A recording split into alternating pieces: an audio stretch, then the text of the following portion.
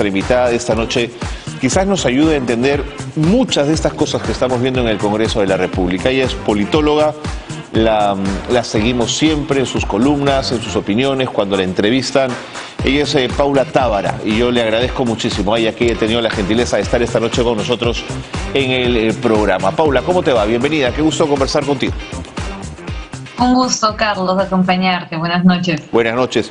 Paula, tengo múltiples preguntas. A ver, comencemos por una sensación. Yo tengo la sensación, de pronto me equivoco, ¿ah? que la presidenta del Congreso, eh, en la decisión de querer ampliar la legislatura, la está usando como una suerte como de queso mozzarella, ¿no es cierto? Como para dejar cambios muy importantes que creo tienen hasta el momento muy poca discusión y que además se manejan en términos de decisión de junta de portavoces. ¿Coincides conmigo en esta preocupación o estoy exagerando, Paula? No, no creo que se esté exagerando, Carlos. Creo que efectivamente estamos en un momento en el que la presidenta del Congreso y algunos seguramente parlamentarios y fuerzas afines a ella están preocupados eh, o más preocupados en lograr colocar estos temas que estaban en su agenda, que son de su interés, que pueden generar beneficios para determinados actores partidarios, más que individuales, ¿no? Eh, y están utilizando todo el, tiempo que tienen ahora mismo lo más que puedan. Por eso estamos viendo sesiones extraordinarias, eh, convocatorias nuevas y por eso mismo también eh, hay un interés por parte de la presidenta del Congreso en que este tiempo digamos, no sea distraído con otra cosa. ¿no? Creería incluso que eso puede ser de los temas que coloca, que hacen que, o de las razones que hacen que no se esté hablando más, como en otros momentos, más explícitamente algunos temas de confrontación con el Ejecutivo, porque necesitan aprovechar el tiempo para hacer cambios que también estoy de acuerdo lamentablemente no se están discutiendo lo suficiente. Algunos de ellos podrían ser importantes y positivos, pero que como están trayendo, digamos, como contrabando otras medidas pues se terminan deslegitimando, terminan siendo cuestionables, terminan haciendo que sintamos otra vez que el Congreso está jugando a su propia partida, de sus propios intereses, aprovechando el tiempo antes de que no sepan exactamente quiénes van a gestionar la próxima mesa directiva, porque creo que otra cosa que se puede haber dado cuenta la presidenta del Congreso es que si tenía alguna vocación de reelección, estaba haciendo agua. Ahora, este proceso que ha sido detenido, el de la elección del defensor del pueblo, por una acción judicial planteada por el Sindicato de Trabajadores de la propia Defensoría, eh, ¿qué, te dice? ¿Te, ¿Crees que, que responde a una práctica que el sindicato y la propia Defensoría sentía como, como opaco, como poco luminoso, poco transparente, quiero decir?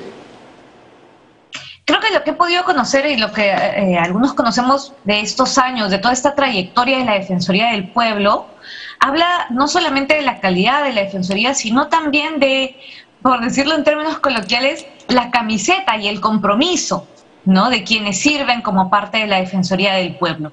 Y entonces, con mayor razón en esa preocupación, en ese compromiso de los funcionarios, las funcionarias que tienen mucho tiempo allí eh, participando de la gestión, más allá de quién sea el defensor en determinado contexto, hay funcionarios que tienen mucho tiempo acompañando la, la gestión de la Defensoría del Pueblo, pues sí habla de una preocupación real de la forma en la que se está dando esto, sobre todo a la luz de lo que vimos con el Tribunal Constitucional, ¿no? Mm. Eh, decisión sin debate público, acuerdo en junta de portavoces, eh, incluso llamadas allí a no, ya no puede hablar usted, este, yo decido aquí, ¿no? Y esa situación colocada que ya nos colocaba en una situación de mucha preocupación con el Tribunal Constitucional, pero puesta sobre la elección de quien es, es que el nombre lo dice, quien ha de defender a las preocupaciones de la ciudadanía por encima de las de los políticos, hace que eh, sea aún más sensible y con tal razón, pues estos funcionarios, este equipo de trabajadores de la Defensoría del Pueblo ha tenido esa misma preocupación por velar, por cuidar la función que ellos llevan años ejerciendo. De acuerdo.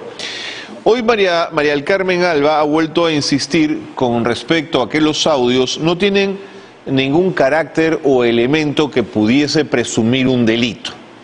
Pero fíjate cómo son las cosas. Al mismo tiempo aparece un comunicado del Comando Conjunto donde las Fuerzas Armadas señalan que ellas, por supuesto, se someten al control estrictamente constitucional y que son fuerzas no deliberantes. Eh, la verdad, yo ahí estoy un poco eh, preocupado porque entiendo que quien debe lanzar el comunicado, en tanto que no son fuerzas deliberantes, es el Ministerio de Defensa, no el Comando Conjunto. Pero en fin, ya puestas las cosas así, en la lectura que has tenido de los audios de María del Carmen Alba, ¿qué intuyes que hay detrás, eh, Paula?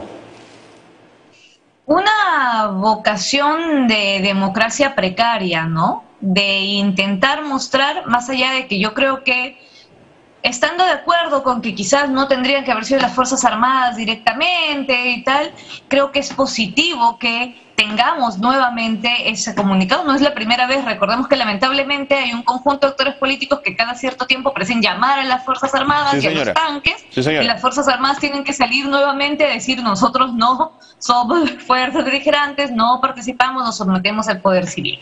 Entonces parece que no, que no, que no quedara en la, en la memoria de los de determinados actores políticos, pero creo que sí habla de una voluntad preocupante de miembros de nuestro Parlamento, de miembros de nuestro eh, conjunto de actores políticos que desearían este tipo de situación, mm. ¿no? que estarían dispuestos a someter sus principios democráticos a, tener alguna forma de acceso al poder o de conseguir orden, entre comillas, lo que, se pueda, lo que podamos denominar orden en un momento que no es democrático, ¿no? Eh, sea con la fuerza que sea o sea con el mecanismo que sea. Y eso es preocupante porque en lugar de tener actores que están dispuestos a usar todos los canales democráticos para ayudarnos a salir de este contexto tan complejo, lo que tenemos son actores además cabezas de poderes, ¿no? Como es la presidencia del Congreso, con disposición a tirar la toalla, a patear el tablero de la democracia en la que es la que, que es además la que les ha puesto allí. Entonces creo que eso preocupa en torno ya ni siquiera solamente al audio en sí mismo, al momento específico, sino a con esos actores políticos, con una presidenta del Congreso que está dispuesta a plantear una cosa así, no es delito.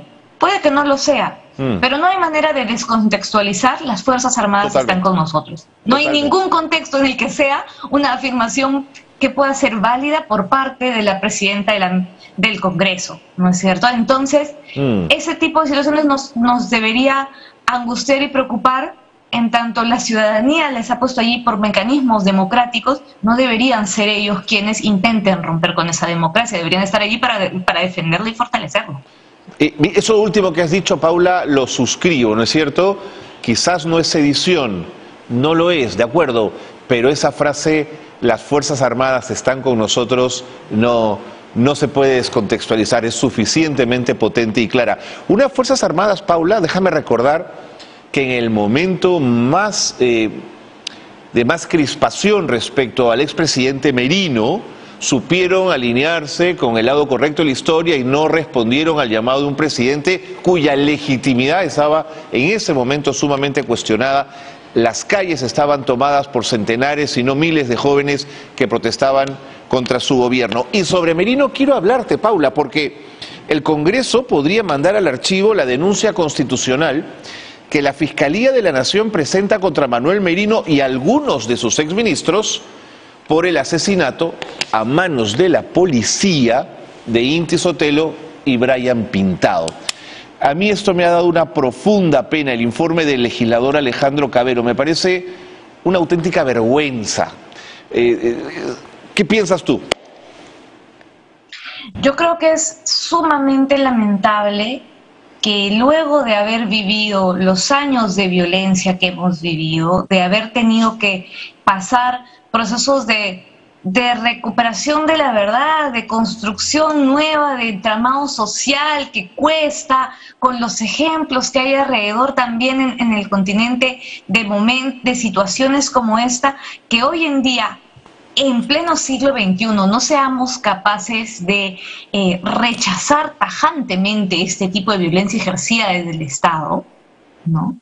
Eh, es francamente lamentable. Y que tengamos mm. funcionarios públicos o representantes públicos que tomen esas posiciones, que las conviertan en, norma, ¿no? En, en, precedente. Así es. Es una forma de desconocer nuestra historia, nuestra historia de, más allá del año 2020, pero además de desconocer una cosa que debería ser fundamental. Mm. La vida es lo más valioso, el Estado está para defenderla, no para quitarla. Entonces, que, que seamos capaces de considerar que es aceptable, que no es posible, que ocultemos hechos, ¿para qué? Para beneficiar a algunos actores políticos por encima de todo. Actores políticos que se deslegitimaron ellos mismos en su momento. Sí, señora. Entonces, y creo, además particularmente, que es eh, sumamente triste que esto venga de alguien joven, mm. de alguien que podría compartir generación, carpeta, espacio, diálogos con, con Inti y con Brian, ¿no? Mm. Inti y con Brian. Es francamente lamentable encontrar esto en nuevas generaciones que han crecido en democracia y que deberían valorar aún más ese Estado de Derecho y esa protección del Estado. Paula, pero en esta conversación, donde hemos mirado con cierta acritud lo que está haciendo el Congreso, no quiero dejar de mirar al Ejecutivo, me parece que es lo equilibrado también. Y mientras todo eso está pasando en el Congreso, eh, al Ejecutivo se le escapan los pericotes, ¿ah? Comienzan a correr y a fugar. Me refiero al caso de la, de la no captura de Juan Silva, ex ministro de Transportes y Comunicaciones, incluso puedo señalar la de Bruno Pacheco y los sobrinos. Eh, ¿Crees que en estas no capturas puede estar la sobrevivencia del Ejecutivo? Sí, claro que sí, digamos, si partimos de la premisa de que los indicios nos dicen que habría acuerdos efectivamente en los cuales han participado las cabezas del Ejecutivo y que estas personas que están siendo perseguidas podrían tener la información, claramente el permitir su buen recaudo que es la expresión que ha utilizado el abogado, ¿no? Es una forma de tratar de salvar la situación por parte del Ejecutivo, al menos mientras encuentran formas, otros mecanismos para eh, seguir sobreviviendo, ¿no? Y creo que es lamentable y preocupante que estemos en un contexto en el que parece que por ningún lado hay algo positivo que rescatar, ¿no? Sino más bien que nos encontremos en una situación tan crítica, tan crítica tan pronto, porque sí, o sea, digamos, no es, creo que una cosa que hay que decir, aunque sea, aunque suene, y no pretendo de ninguna manera que suene a, a, minorar las responsabilidades de nadie, es que este no es, la no es la primera vez que nos encontramos en una situación como esta, pero cada vez vamos más rápido, ¿no? O sea, vamos pisando el acelerador a situaciones críticas y encontramos cada vez mirando alrededor menos como expectativas de por dónde salir adelante. Totalmente. Por, Dónde, por, dónde, por dónde pasar esta situación. Y encontrarnos que esos entramados de corrupción, de, de ocultamiento, de, de sobrevivencia, se van haciendo naturales, no excepcionales, naturales entre nosotros, los sectores políticos, naturales en, en, el, en, el, poder más importante de nuestro país, es francamente lamentable y preocupante, ¿no? Qué bestia, Paula. Más clara no se puede ser. Muchísimas gracias por haber estado con nosotros, por ayudarnos a entender este complejo panorama. Te agradezco muchísimo la gentileza de estar esta noche con nosotros. Un gran abrazo. Un gran abrazo, Carlos, un gusto. Paula Tábara, politóloga, ha estado con nosotros, clarísima, ¿no es cierto? Clarísima, ¿no es cierto?